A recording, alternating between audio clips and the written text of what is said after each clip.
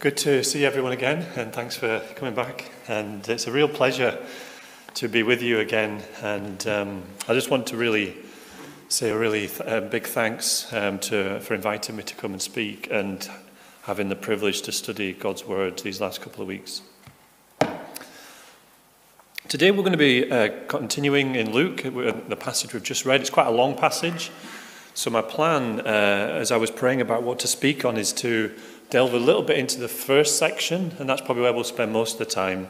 And then we're going to draw out some general principles from last week and this week uh, and try and cover the rest of the passage. So we'll see how we get on. Okay. So I want to start off by thinking about um, breakthrough moments. So these are moments when your life changes forever. And I think I've got a couple of examples of these. The moment when a young girl, we're on to tennis again, by the way, uh, beats a top seed in an overnight sensation, and all of a sudden you're in the quarterfinals or almost of uh, Wimbledon. The moment your boss resigns and you're delivering the country, your country's budget as the youngest person ever to deliver it, what a moment. The moment you're thrust into the spotlight in the wake of a national emergency and you, be, you become the nation's medical guru. Now, I'm sure nearly everybody in here can name at least one of these people uh, if we went around the room to ask. People that we didn't know, and then all of a sudden something changes and they're a household name. You see, some people are looking for fame, aren't they? Others have it thrust upon them. Why do some people have breakthrough moments and others don't? Talent, timing, luck? Well, we know there's no such thing as luck. As someone once said, it takes 20 years to make an overnight success. And today we're going to look at Jesus' moment when he breaks through into the public consciousness. Through the events that we've just read in Luke, we see a shift in Jesus' profile. Up until now, he's been building this almost like a group under the radar of disciples secretly, but not, not hidden. But all of a sudden, this, this teacher collecting students shifts to be a public figure. There's no going back from this point on. And by the end of the chapters we just read there, you've got the political leaders of his day dealing with this guy, this new person on the block, the Pharisees and the lawyers, who hold a lot of control and influence over the people at that time. So, the big idea for this talk this morning is that Jesus is the master of the house. Keep that in your mind as we go through it. Now, as Jesus bursts onto the scene, I want to look at some lessons, just a couple, in how we can live well even if we're never in the public eye. Most of us are not household names in here, and probably none of us uh, will be. Who knows what the future holds? Maybe some of our children will be very famous, who knows? But for most of us, we, we need to, to live well, even if we're not in the public gaze, don't we? For the aim of life is not to be famous, but it is to live a worthy life. To live a life, as we said in the title, of purpose and poise, of contentment in Jesus. Well, maybe we do, we do something truly amazing. And uh, maybe we, we pray and that God gives us a miracle. And no one can deny that we've done a miracle or He's done a miracle through us. Surely people would be queuing up to hear our testimony to ask us how it happened. Well, maybe or maybe not. Because all of us, as we live our life in the public square, whether it be the schoolyard or the kitchen or the office or the football pitch, I think we can all learn from Jesus' approach in living this life of purpose, power, and poise whilst in the gaze of others. And the first thing to learn is that people will absolutely question your motives and your credentials, even if they can't deny your ability. People will question your motives and your credentials, even if they can't deny your ability. Jesus here does a clear miracle. He heals a demon possessed man in fact, if you look at Matthew's account, Matthew 12, uh, 22 and onwards, he has a similar, uh, same account, but told from Matthew's perspective. And Jesus shows amazing power to cast out this demon. And Matthew tells us that the man was actually blind and mute. Blind and mute. We're not told how he does it, it's a miracle. But the truth of the healing is self evident because the guy who was blind and mute is now speaking. So they can't say it hasn't happened. It's definitely happened. The people were amazed, but some of them were distracted. When the party should be starting, all some of them want to do is hold an inquest. Who's this guy? Do you know him? I don't know him. Is he one of ours? Do we like him? And we, we see the question they're asking in Matthew is could this be the son of David? They're starting to clock on with who Jesus is. But some of them have an alternative interpretation, a bit like uh, scientific evidence here. They're looking at the data and coming up with a different interpretation. They're saying it's the power of evil that this man is using, verse 15. And they demand, don't they, in verse 16, give us a sign that what you're doing is from God. So they're, they're asking for more and more evidence on what Jesus is doing. And the second thing we can learn is that we'll never keep everybody happy. Even if we do this amazing miracle, there's still people wanting more. Jesus is not concerned with being popular at all, really, but he is passionate for the truth. And Jesus uses this miracle to make a bigger point. And I want to look a little bit more at this term, Beelzebul. So I don't know if, you, if you'll be able to read this or not, but effectively, what, what this is a really interesting uh, history of this word. And I want to just dig into this. So bear with me for just a couple of minutes because it's really, really fascinating.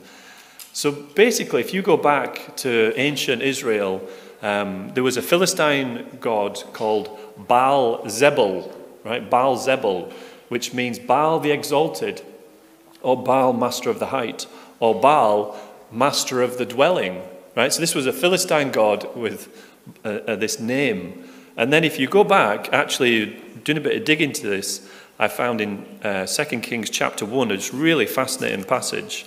When King Ahaziah uh, Ahaziah falls, has a fall. And it says, uh, verse 2, 2 Kings 1, he says, Now Ahaziah had fallen through the lattice of his upper roof in Samaria and injured himself. And he says, Go send messengers saying to them, Go and consult Baal Zebub, the god of Ekron, to see if I will recover from this injury. Elijah's not very happy about this. But that's what he does. He says, Go and send messengers to Baal Zebub. And then in Jewish tradition, this is actually twi- a twisting of the Philistine name to Baal Zebub, meaning Lord of the Flies. Instead, it's not the house, master of the house, it's Lord of the Flies instead. Now, roll forward, that's about 600 BC. If you roll forward 600 years to the New Testament now, so again, the, the name is, we think, changed slightly.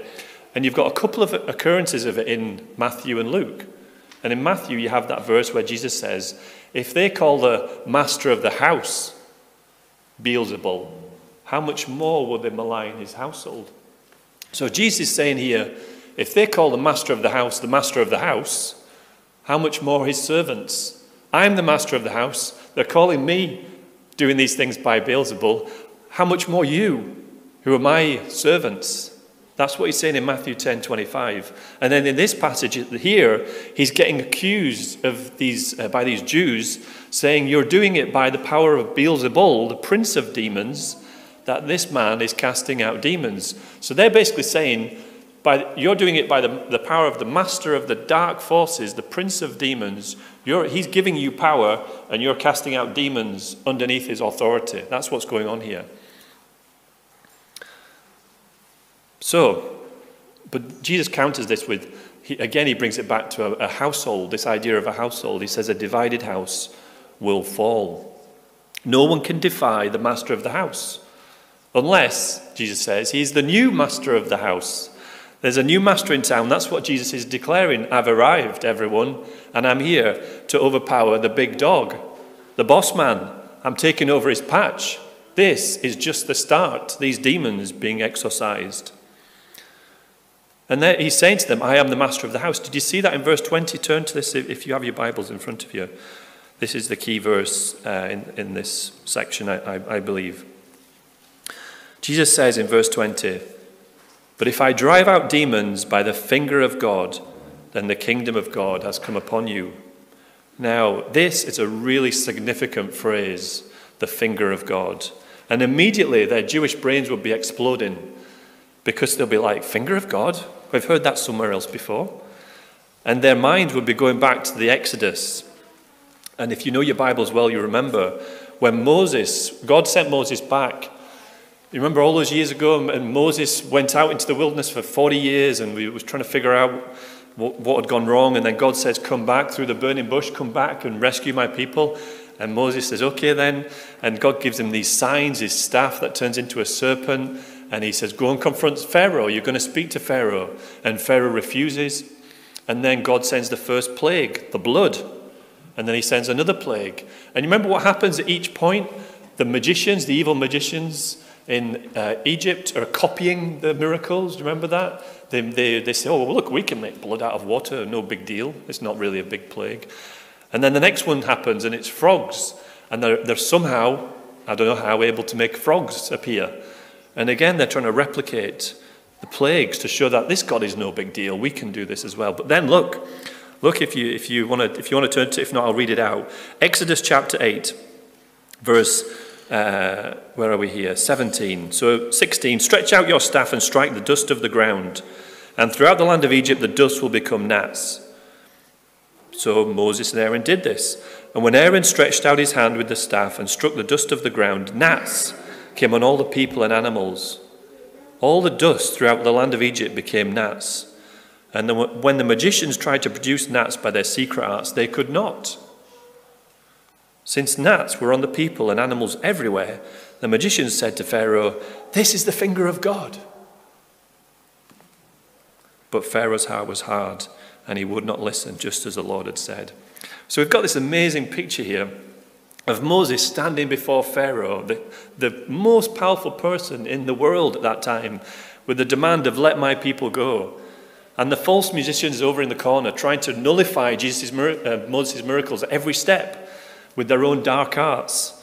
As each plague arrives, they try to replicate it. And it's only after the third plague that they go, game's up, we're, we're out of this one. And we, did you notice it when we read it? Which plague stumped them? Which plague was it? The gnats. And what are gnats? They're flies. They're flies. A new master of the house has arrived, and Moses is declaring to Pharaoh, who's really in charge now, the God of Jehovah's in charge. The, the real Lord of the flies is sending the flies on Egypt that cannot be copied by the dark arts. And now Jesus is here saying it is the finger of God that these people who are doing witchcraft and dark arts and using the power of evil. Even they knew it was the, the finger of God. They declared it. Now Jesus is saying, now today, if I'm using the finger of God, then the kingdom of God has come upon you right now. He announces the arrival of the moment for the liberation of God's people. And the finger of God points to this moment in history and says, The master of the house has arrived. He stands before Beelzebul. He casts aside his minions. He echoes the miracles of Moses. And he fulfills Isaiah 35, which we'll come back to at the end. So, I know you're all fascinated by the meaning of words and ancient Jewish history, but apart from being very interesting, what does all this mean to us? What does this mean for me today? What possible relevance can all this have in my life? Are the Pharisees flying blind? Or do they have a point? Well, if we think about last week and we build on what we looked at last week, the, you remember the boundless love and, and, the, and the bold devotion, these two things that we saw coming out last week, and we were centered in the presence and the power of God. Then this week passage, passage shows us also two things, I believe. Firstly, that we will face opposition. We will face opposition. And secondly, that we need integrity. And through a series of encounters, Jesus takes us to the heart of what it means to live a life of purpose, power, and poise by zooming in on authority and authenticity. Who are we really? You see, in the first section of this passage, Jesus' own credentials are questioned. Who is this guy? His miracles are signed to the power of evil. In the last section that Megan read for us, we have him calling out the hypocrisy and the, the fakeness and the sham of these leaders. You see, this chapter is like a, a hinge point in this story. It marks the entrance of Jesus into public life. He's now a, a, somebody, he's a known person. It signals a change in his ministry where he's no longer operating under the radar. He bursts onto the scene and faces the first real test in public life. And the application for us is worth considering today, isn't it? Because we've been pressured We've, we've been pressured to privatize our faith, take it away from the public sphere. Yeah, you can do whatever you want in your homes or in your church buildings, but do not bring it into the public domain. That's what we've been told all our lives almost. And these passages show us that Jesus didn't shy away from engaging in public discourse. In fact, he embraced it, he welcomed it, he took them on in places with the wisdom of God. And I think there are lessons for us in how we engage in the marketplaces of life. You see, if last week we focused on the needs of various people, remember the need of the lawyer, we had the need of Martha and the need of the disciples, you remember that?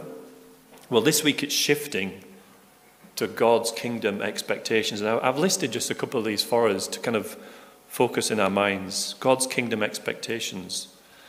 How does He expect us to survive and thrive when, the, when we're on the margins of society, when we've been pushed out to the edges?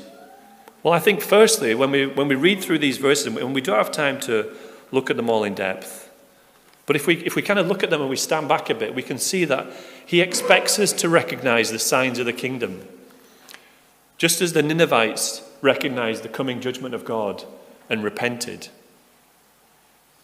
He's expecting us to turn our lives towards the truth and to see the signs, especially the sign that Jesus is about to make of his own life as he goes to the cross. He's expecting us to sit at his feet and learn like Mary and just absorb that truth and devotion. He's, he wants to sit and learn like Mary. He expects us to treasure obedience. Remember what that lady said? She shouted out, Blessed are you, is the mother who gave birth and nursed you. No, blessed are those who hear the word of God and obey it. Treasure obedience, Jesus is saying. It's the family of God over family ties. That's what Jesus is saying. He expects us to bring our lives under his spiritual authority as the master of the house and stay there protected. Do you remember what it said there? That the demon flees and he doesn't know where to go. It's, it's weird imagery, really. It's like a demon wandering around going, I've no idea where I'm going to go. Uh, I know, I'll go back to the place I came from. It's this really bizarre imagery. And Jesus says he comes back and he found this really beautiful, pretty house. And what does he want to do? He wants to trash it. That's what he wants to do. He wants us to, Jesus wants us to remain under his spiritual authority and stay there. He expects us to be overflowing in love. We heard that in the Good Samaritan last week, we heard it in the children's talk today. Overflowing in love. And he expects us to live lives that are rock solid, root and branch, honest, where there's nothing done for show but everything is an expression of the inner life. That is what he's saying to the Pharisees, isn't it? I mean, imagine someone saying these things to you and just cutting right through your entire life as hollow. That's what Jesus is saying root and branch, honest. Jesus is laying out the high calling of discipleship, of kingdom living, and he's fiercely confronting those false shepherds and false leaders and saying, You're a fake. He declares, spiritual authority over every opponent. Every opponent. And he stands before these leaders, the political and religious elite, and declares them a sham. He sees right through them to their man made religion.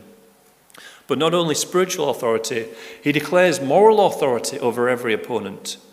He has authority based on who he is the Son of God, almighty and everlasting, no beginning, no end, no higher power.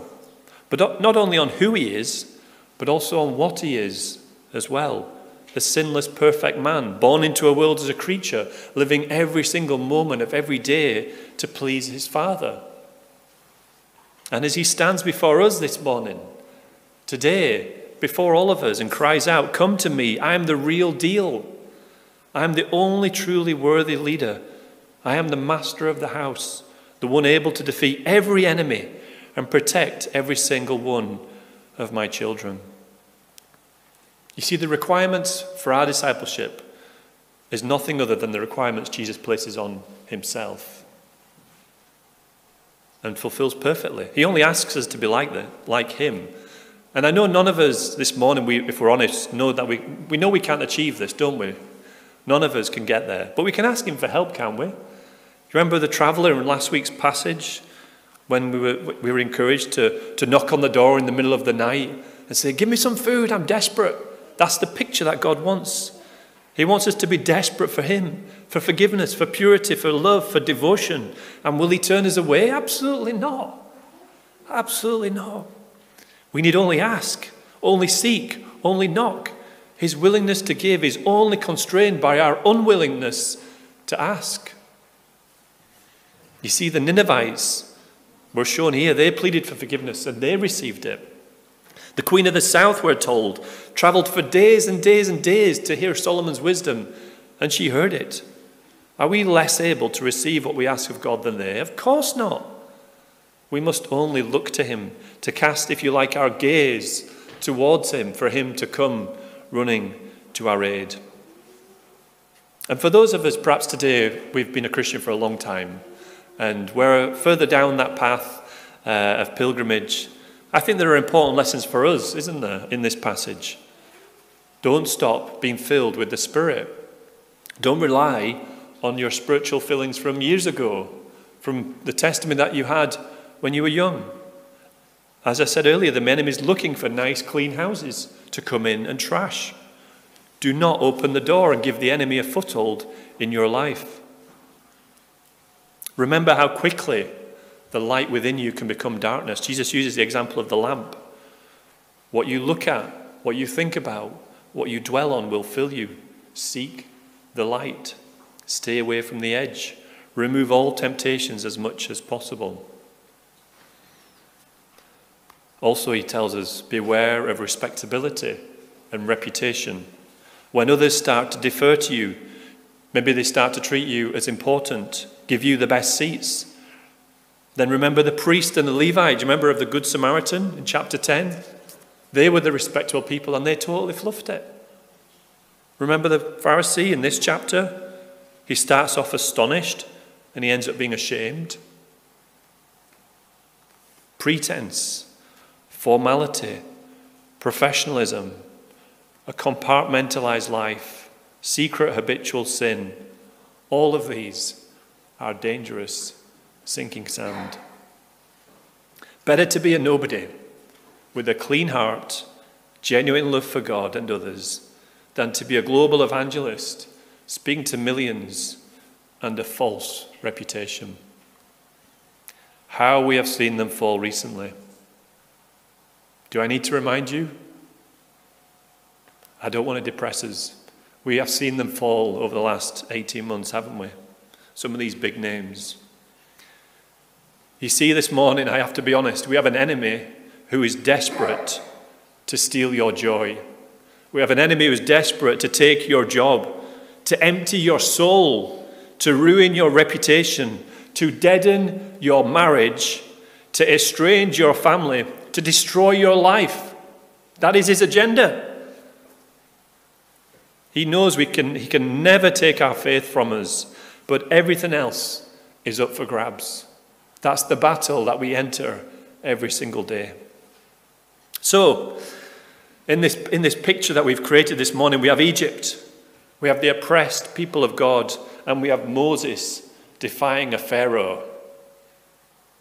We have first century Israel, and we have people bound by superstition and evil powers, and Jesus denouncing the demons and all the hypocrites.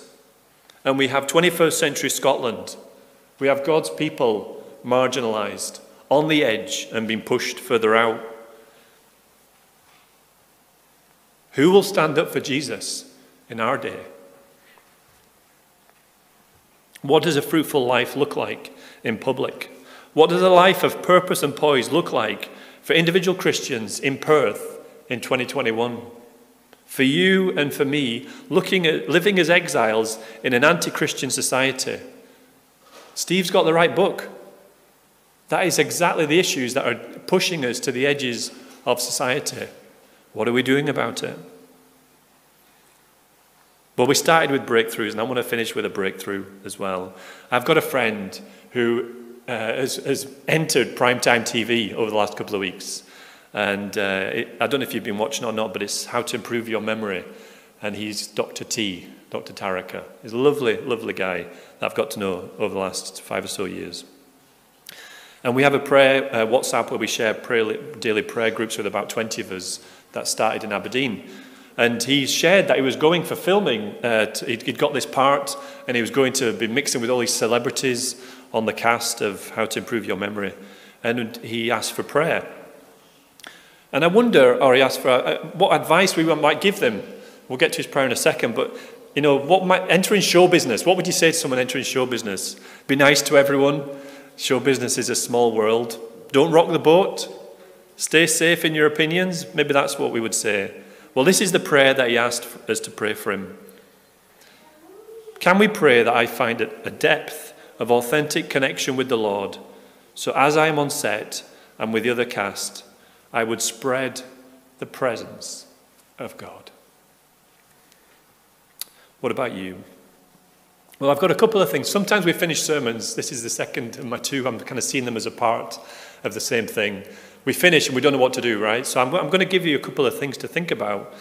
And if you're in your 20s or 30s today, I don't know if you are, uh, I'm only just out of that bracket, unfortunately. So it doesn't apply to me, shucks. But if you're in your 20s or 30s, or you know someone who is in their 20s and 30s, and I don't know if you can read this, but basically, this is a program set up by the Evangelical Alliance to try and support people who are in that kind of mid early career phase of their lives to become the public leaders of the future.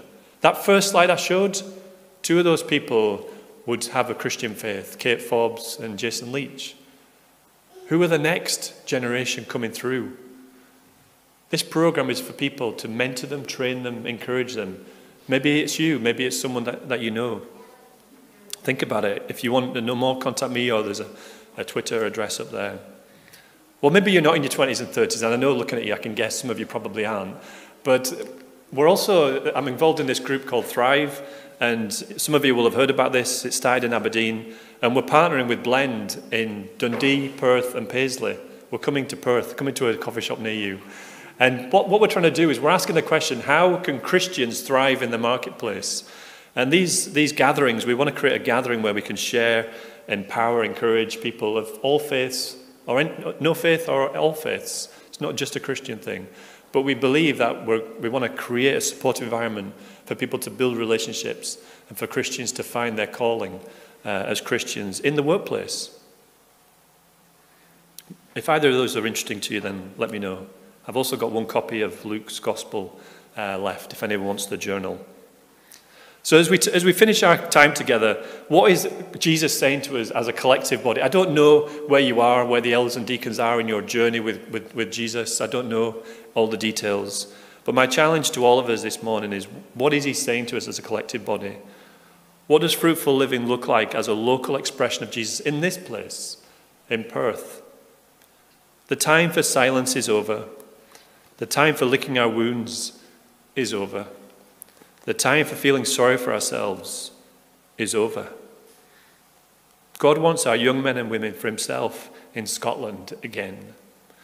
God wants our older and experienced men and women to rise up. God wants our children to know everlasting joy. I'm going to finish by reading Isaiah 35, verses 5 to 10. Then will the, you might see some references here that you recognize. Then will the eyes of the blind be opened and the ears of the deaf unstopped. Then will the lame leap, leap like a deer and the mute tongue shout for joy. Water will gush forth in the wilderness and streams in the desert. The burning sand will become a pool, the thirsty ground bubbling springs. In the haunts where jackals once lay, grass and reeds and papyrus will grow. And a highway will be there. It will be called the way of holiness. It will be for those who walk on that way. The unclean will not journey on it. Wicked fools will not go about on it. No lion will be there, nor any ravenous beast. They will not be found there. But only the redeemed will walk there. And those the Lord has rescued will return. They will enter Zion with singing. Everlasting joy will crown their heads. Gladness and joy will overtake them, and sorrow and sighing will flee away. Thank you for joining us. To find out more about Tayside Christian Fellowship, visit tcfperth.org.uk.